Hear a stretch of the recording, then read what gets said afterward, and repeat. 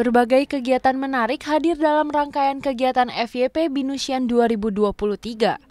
Kegiatan yang dibagi dalam beberapa sesi ini bertujuan untuk memperkenalkan BINUS khususnya alam sutra area kepada para freshmen yang berkuliah di sana.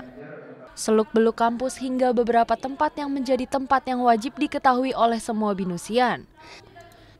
Selain itu, Binusian juga diperkenalkan oleh beberapa sistem wajib yang ada di Binus University, seperti bagaimana cara mempergunakan Binus Maya untuk mengerjakan assignment secara online, hingga bagaimana mempergunakan absensi dengan baik.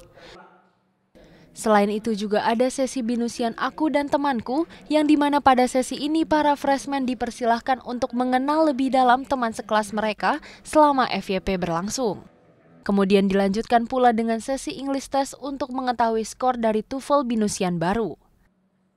Lalu ada sesi Binus Integritas di mana para Binusian baru diperkenalkan dengan salah satu visi dan misi Binus, yaitu Binus Spirit agar menjadi sebuah dasar Binusian sejati. Dan yang paling penting adalah sesi bakti sosial yang mewajibkan Binusian untuk menyumbangkan sembako dan nantinya dibagikan kepada sesama yang lebih membutuhkan.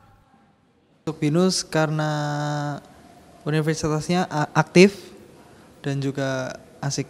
Menurut saya FYP BINUS tuh menyenangkan, banyak membuat tertawa. Kakak FL-nya juga baik. Uh, senang sih sebenarnya kan kakak FL-nya juga baik-baik gitu ya mendampingin kita semua terus. Kayak dia juga perhatian sih waktu itu. Kayak kemarin juga kan kita disuruh bawa bekal kan ada yang nggak bawa itu dia diingetin terus harus bawa ya nanti kon buat kondisi kes, apa kesehatan juga gitu.